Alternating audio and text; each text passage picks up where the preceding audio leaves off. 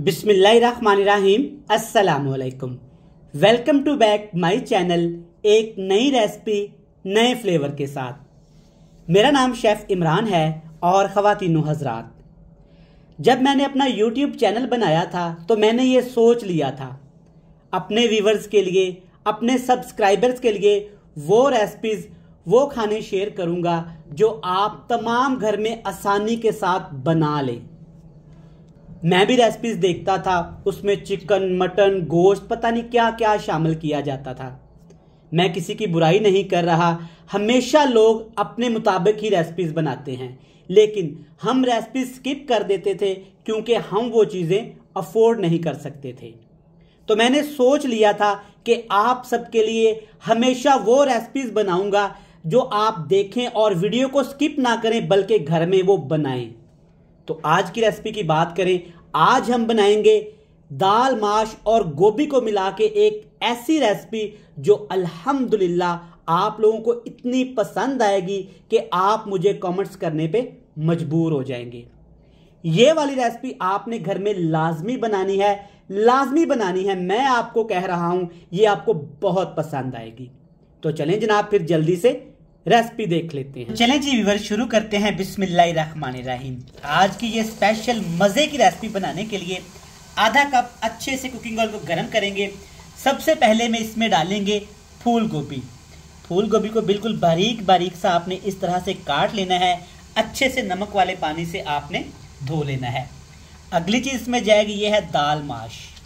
आधा किलो ही गोभी है और आधा किलो ही मैं इसमें दाल माश का इस्तेमाल करूँगा। जिसे मैंने छः घंटे पहले भिगो के रखा हुआ था। अच्छे से साफ़ करके। अगली चीज़ इसमें डालेंगे, यह है एक अदद बड़े साइज़ का प्याज बिल्कुल बारीक सा कटा हुआ। हाई फ्लेम है नीचे।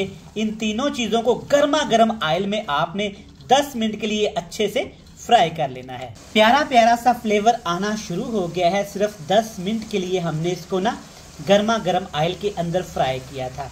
अल्हम्दुलिल्लाह, इतनी मज़े की रेसिपी, इतनी डिफरेंट रेसिपी हमेशा की तरह ये भी आपको पसंद आएगी। अब इसमें डालेंगे जनाब कुटा हुआ, याद रहे, ये कुटा हुआ अदरक लहसुन का पेस्ट है, बिल्कुल बारीक नहीं इसको काटना। अगली चीज़ें जनाब इसमें जाएँगी, ये है जनाब एक कप पर के दही, इसमें है लाल मिर्च, हल्दी पाउडर, ज़ीरा, धनिया पाउडर, सारा कुछ मिक्स करके मैंने अभी इसमें डाल दिया है। साथ के साथ जनाब इसमें डाल देंगे टमाटर और हरी मिर्च, बिल्कुल बारीक कटी हुई। एक बड़े साइज़ का टमाटर 10 से 12 सब्ज़ मिर्च छोटे साइज़ की। अगर बड़े साइज़ की हैं तो तीन से चार काफ़ी होंगी। लें जनाब, अच्छे से इसको मिक्स करेंगे, बिल्कुल लो टू मीडियम फ्लेम करेंगे और 10 मिनट के लिए इसको अच्छे तरीके से भून लेंगे। तो प्यारे खातिनों हजरात, हमने दही के साथ, मसालों के साथ ना तमाम चीज़ों को अच्छे से भून लिया है। तकरीबन 15 से 17 मिनट लगे हैं। तो आप देख सकते हैं हल्की हल्की आँच पे, माशाल्लाह, क्या ज़बरदस्त फ्लेवर के साथ, अल्हम्दुलिल्लाह, बड़ा ही प्यारा सा रंग आ गया है। अब इसमें डालेंगे टेस्ट के हिसाब से नमक। नमक अभी मैं क्यों शामिल कर रहा हूँ? अगर नमक हम पहले इस्तेमाल कर देते ना तो दाल माश ने सख्त हो जाना था, फिर हम जो मर्ज़ी कर लेते, उसने टेंडर नहीं होना था। अब इसके लिए हल्की सी हमने ग्रेवी बनानी है। तो ग्रेवी बनाने के लिए सिर्फ़ मैं एक कप पानी का इस्तेमाल करूँगा, ज़्यादा नहीं जस्ट एक कप। चलें जनाब, एक कप पानी डाल दिया, अच्छे से मिक्स करेंगे। अगर अभी तक आपने हमारे चैनल को सब्सक्राइब नहीं किया तो क्यों नहीं किया जनाब? जल्दी से चैनल को सब्सक्राइब कर लें। ये आपकी तरफ़ से हमें शाबाश होती है कि आपका शेफ आपके लिए कैसे रेसिपीज़ बना रहा है। चलें जनाब। ढक्कन लगाएँगे, पंद्रह मिनट के लिए मजीद दम लगा देंगे। तो यहाँ पे वीवर्स हमने दम लगाया है पंद्रह मिनट। देखिए, माशाल्लाह, सबसे पहले आपने इसकी खूबसूरती चेक करनी है। ये देखते ही सबके होश उड़ा देगी, इतनी मज़े की ये रेसिपी है। अल्हम्दुलिल्लाह, इतनी सी ग्रेवी काफ़ी है, देखिए, माशाल्लाह।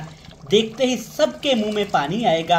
और सब यही सोचेंगे बैठ के मुँह पे हाथ रखे कि ये इन्होंने बनाई कैसे है जनाब? जब इतना सा पानी रह जाए, खूबसूरती के लिए टेस्ट के लिए इसमें डालेंगे कटी हुई सब्ज़ मिर्च और धनिया।